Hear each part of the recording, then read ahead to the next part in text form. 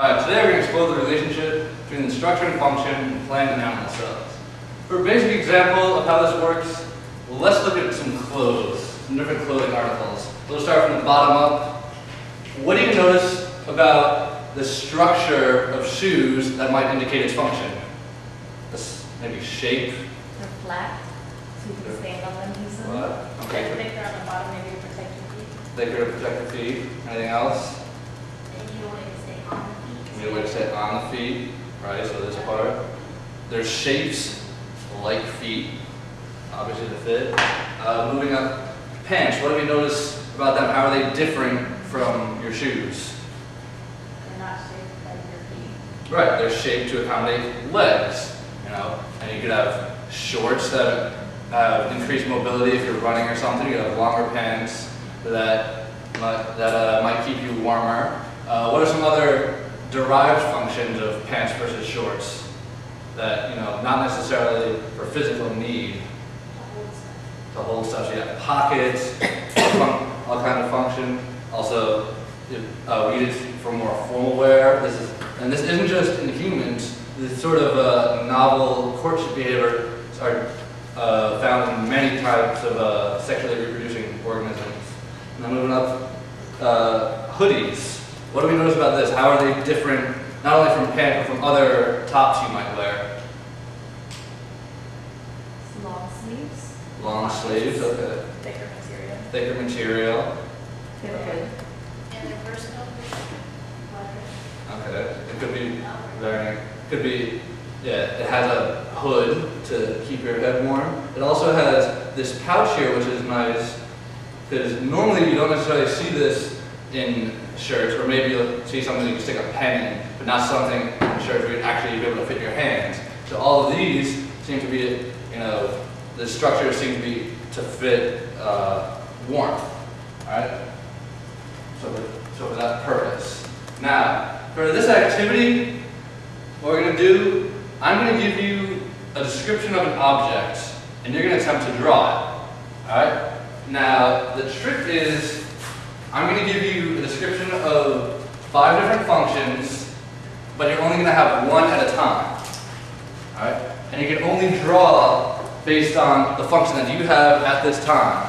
So if it, so if the description you're currently holding says, I am tall, you might draw what looks like a tall building or a tall person. You don't necessarily know. Then if it says, I am wide, and you happen to draw a stick figure, you can't scratch that out and then draw another one. You can draw a cir- circular body or, you know, make the buildings look wider, but you can't change the height or parts of the previous tree.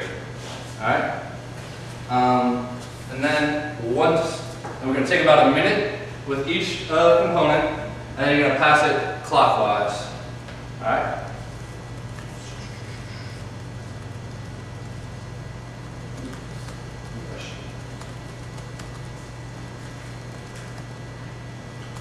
All right, so you can start drawing. Yes. So she should leave space to draw. Yeah, leave space in case you need to expand on it one way or another.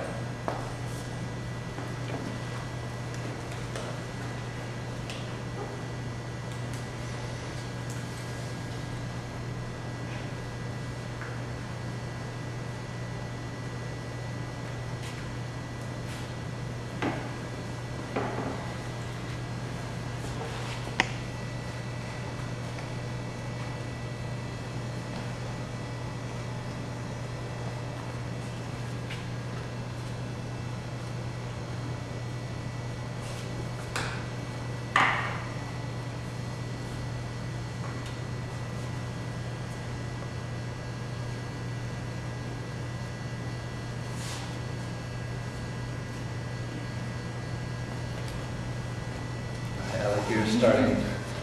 Thanks. All right. Everybody about ready? All right. Uh, so this side, pass it forward, and then you guys pass it back. Good luck with that one.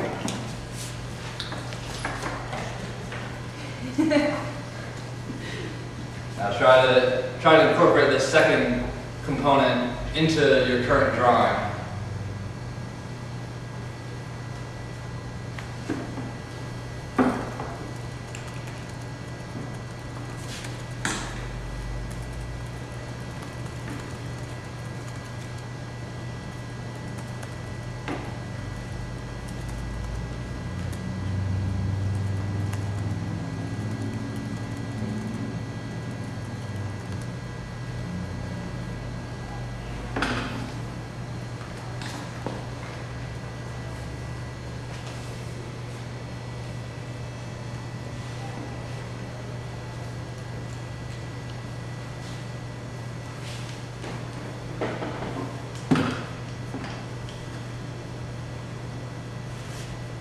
You are a good artist.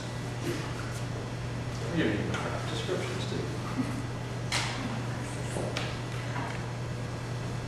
Alright, everybody else set? Pass again.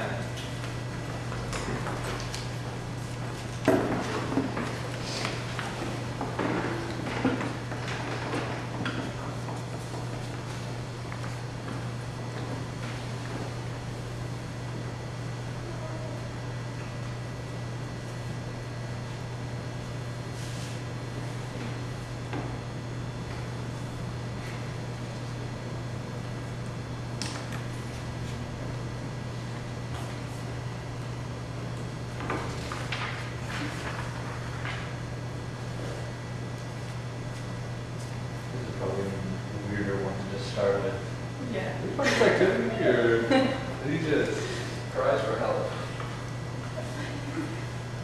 Sad face. Like, oh, I like it in here. Microscopic sad face. Shh. Sorry.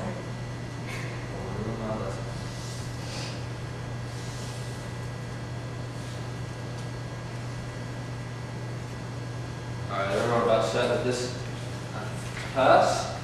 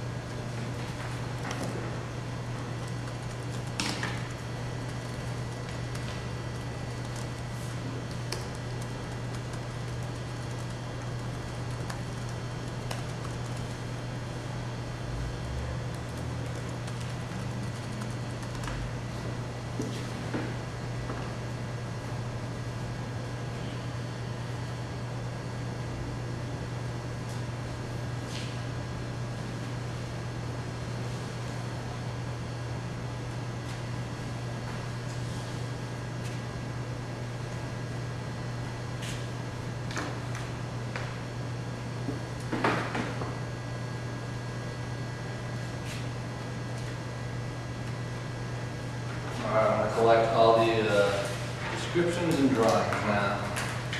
Our names on the drawings. Uh, yeah, if not, you'll be able to identify, so there's only five of us here.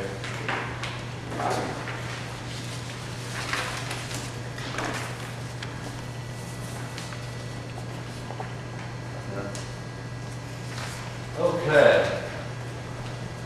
So, what did you guys notice as you got more and more of these descriptions? Do they all seem to correlate with what you initially thought? No. Alright, uh, let's go, I'm gonna go over the description one by one, we'll see who started, who started with what and what they turned out to be. actually, I'll just list all of them for you. I can perform photosynthesis. I don't like to be alone. I have a large central component that serves as a dumpster. I am surrounded by sturdy walls to protect against flooding. I am microscopic. So now that you've heard all five parts, who can give me a guess at what this object is? Eric? Plant cell. Plant cell. Bingo.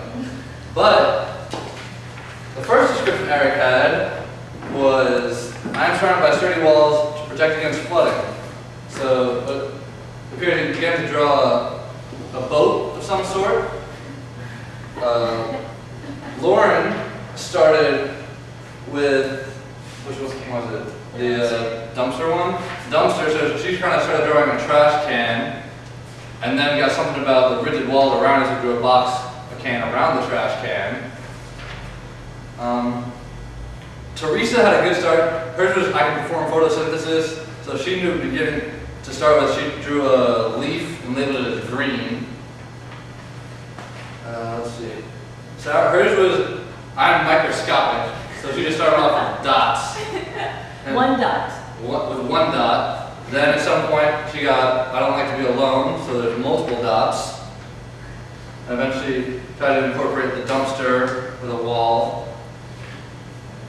Vicky began with I don't like to be alone, which has to be the most bizarre description to start off with, knowing nothing else. So she drew several people not wanting to be by themselves. But ultimately, as she got more and more description, she drew a very intricate uh, plant cell in parts with some people inside the nucleus. All right. So, so how? So if you knew all of them to begin with, you could draw it, right? But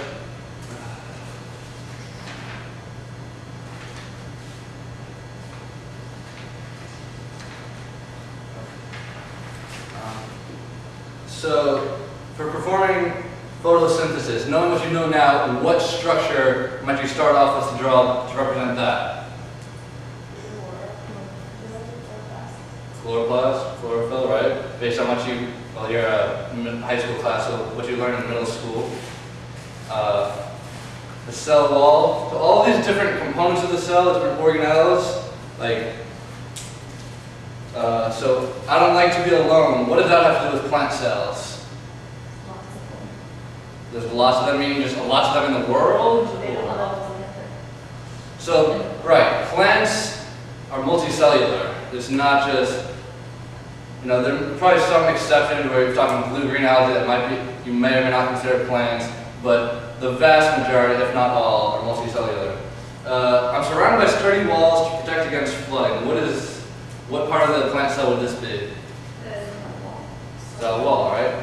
Now, so why, now animal, we don't have cell walls. Why would plants have this?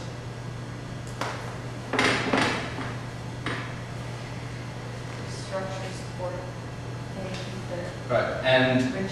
Because plants want to take in a whole bunch of water, because that's what they need to survive and undergo photosynthesis, but if it just keeps expanding, it'll eventually burst and die. So one good rainy day, and a plant dies. So that's obviously not good.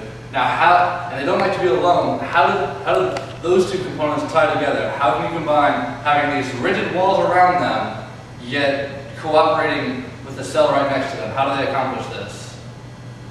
They're close together, but they have a tunnel where they. um, Oh, they have a tunnel. Do you happen to know the term for this tunnel?